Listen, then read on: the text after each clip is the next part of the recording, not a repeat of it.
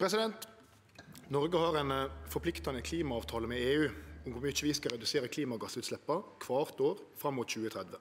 Dette er ikkje mål som det er valgfritt å nå, det er mål vi må nå. Norske utslepp går nedover, men det går for sakte. Og vi er enno ikkje på rett bane til å nå dei måla. Og I en sånn situasjon så skulle ein tro at regjeringa gjorde det den kunne for å forsterke klimapolitikken. Men kva har skjedd? Jo, regjeringa gjer det motsette. Dei største utsleppa vi må kutte, i tråd med avtalen med EU, finn vi i transportsektoren. Kva har regjeringa gjort der? Dei starta med å gjere det dyrare å kjøpe elbilar. Dei fulgte opp med å senke klimaavgiftene med 1,7 milliardar i inneverande år. Og i førre veke vart det varsla at det ikkje lenger vil bli gitt støtte til elektriske varebilar eller biogasskøyretøy. No har transportetatane til regjeringa levert ein rapport der dei konkluderer med at med dagens politikk vil det ikkje vere mogleg å nå klimamåla for transportsektoren. Og Då president, kunne ein kanskje tenkje seg at ein gjorde meir for å kutte i andre sektorar. I den nest viktigaste sektoren for å nå klimamåla med EU, landbrukssektoren, der går det i revers. Utsleppa for landbruket dei aukar, dei går ikkje ned. Og I vår sa landbruksminister Borch varsla at på hennar vakt skal det ikkje skje endringar i husdyrproduksjonen for å følgje opp kosthaldsråda. Husdyrproduksjon er den største kilda til utslepp i landbruket. og Landbruksministeren har med det i praksis avlyst klimaavtalen staten har med landbruket. President, det er ikkje det at regjeringa raserer norsk klimapolitikk. Mange gode verkemiddel blir videreført. Men kvar gong regjeringa gjer noko nytt, så går det i feil retning. Stadige små knepp i retning høgare klimagassutslepp. Samtidig som det en avtale som vi må oppfylle. Så då, president, blir spørsmålet: Kan statsministeren nevne et einaste nytt tiltak denne regjeringa har kome med for å styrke klimapolitikken i ikke-kvotepliktig sektor? Statsminister Jonas Gahr Støre. Denne regjeringen altså, er den første som legger fram en grønn bok der vi tallfester klimaeffekt og teller tonn som vi teller kroner. Det betyr at vi får kunnskap om hvor vi er på vei, og hvordan vi skal jobbe for å nå målene våre, som vi står sammen om her. Det er en tydelig klimastyring hvor både statsbudsjett og utslippsbudsjett må gå opp for å virke sammen. Utfordringen til 2030 er stor.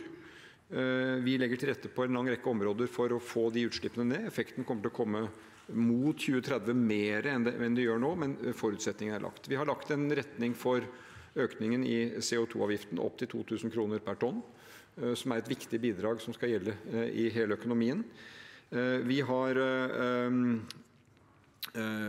foreslått når det gjelder altså opptrappingen for avgiftene på ikke-kvotepliktig sektor fram mot 2030 med 2000 kroner per tonn, er en betydelig styringssignal til økonomien som skal bidra til å få utslippene ned. Vi har styrket bevilgningene til Bionova, som vi har opprettet, og som nå er i gang. Vi styrker bevilgningen til Enova, som er i gang.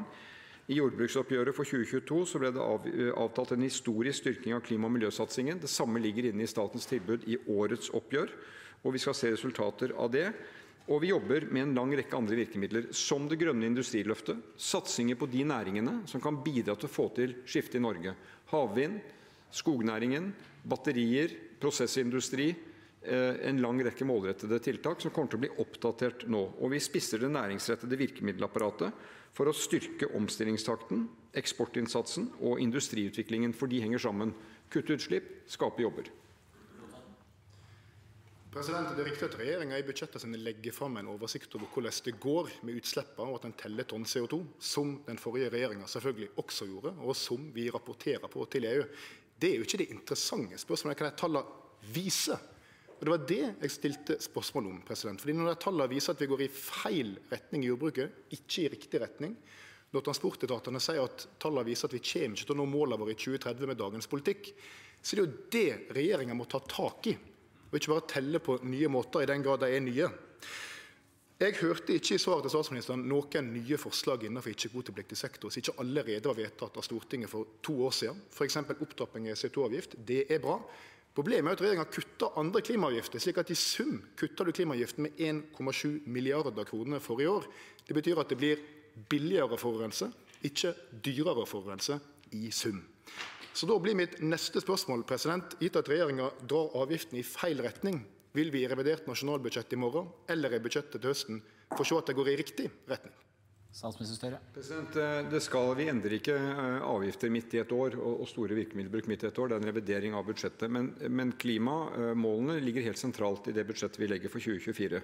Det er riktig at vi trenger omfattende tiltak i transportsektoren. Det har vi også vedtatt gjennom tidene. Nå skriver internasjonal presse om eh, elbildekningen i Norge. Dit vi er kommet på det, det er bra. Så har vi Nasjonal transportplan, som jo er hovedgrep for å se transportnæringen i sammenheng. Den vil komme i 2024 og ikke 2025. Og Der er det lagt klare klimaføringer for de ulike delene av den sektoren for at vi skal kunne samlet bidra til å få utslippene ned. Det gjelder jo eh, både knyttet til vei, bane, luft. Og så har vi landbruk. Som sagt, i landbruksavtalen, i jordbruksavtalen, i oppgjøret, så er klima eh, av større betydning, samtidig som også natur får en større betydning. Redde Oslofjorden, sterkere føringer i den avtalen.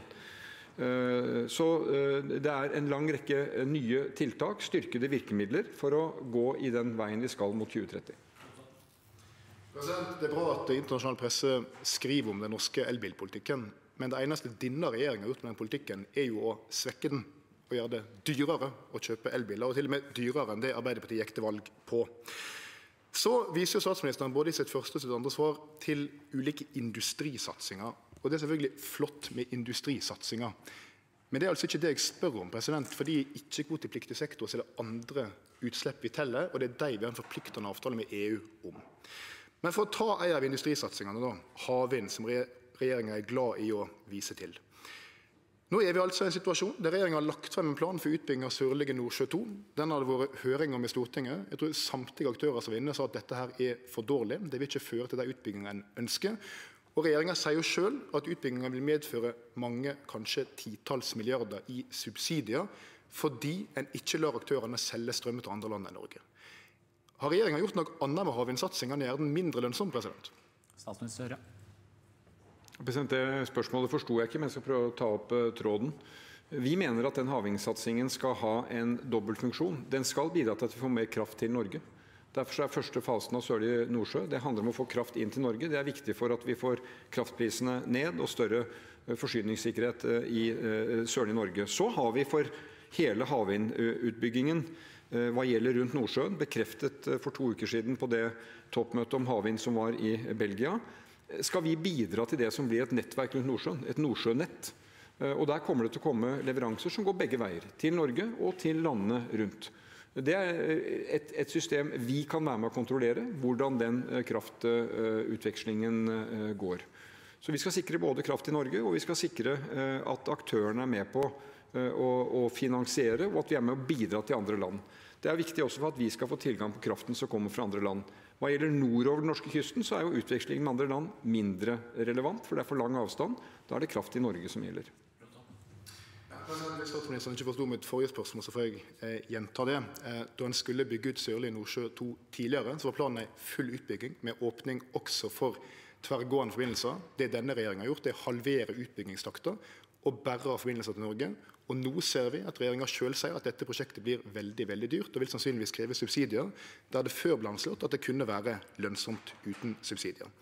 Men jeg vil eh, til slutt president, komme tilbake til mitt opprinnelige spørsmål, for det har fortsatt ikke statsministeren svart på. Vi er i en situasjon der vi har en forpliktende klimaavtale med EU, ikke bare for 2030, men for hvert år gjennom dette tiåret, om å kutte utslippene. Tallene viser at vi ikke er i bane til å nå det. og Da var spørsmålet har regjeringa lansert noen nye tiltak for å nå de målene. Og ingen industrisatsing kommer til å gjøre det, både fordi det er en annen sektor, og fordi det først gir resultat etter 2030. Så jeg vil gjerne ha et svar på det spørsmålet. Gjør regjeringa noe nytt i ikke-kvotepliktig sektor, transport, landbruk, annet, som ikke allerede var vedtatt av Stortinget for to år siden? Altså, eh, Enova var vedtatt av Stortinget tidligere. Vi har styrket det betydelig og gitt det føringer som er viktig for, eh, for en lang rekke forhold, eh, bl.a. på energiøkonomisering. Bionova meg bekjent, eksisterte ikke eh, under representanten Rotevatn. Er vedtatt, bestemt, tilført midler fra denne regjering. Så det er gjort viktige ting på det området. En CO2-avgift som nå forutsigbart er på vei oppover, bidrar også selvfølgelig inn for alle aktører i det som er ikke-kvotepliktig sektor. Og så skal vi jobbe med aktørene i transportsektoren. Eh, bestilling av nye ferger som går på eh, lavutslipp eller nullutslippsteknologi, skjer nå rundt om i landet ved samarbeid mellom stat og fylker. Eh, og på en lang rekke områder. Eh, hele avfallssektoren er jo da opptatt av å se hvordan man kan realisere fangst og lagring av CO2. Og sirkulærøkonomien kommer til å synes på veldig mange områder, er en del av det grønne industriløftet. Så det grønne industriløftet er ikke bare kvotepliktig sektoranliggende. Det handler også om hvordan vi eh, bruker ressursene i eh, den innenlandske økonomien.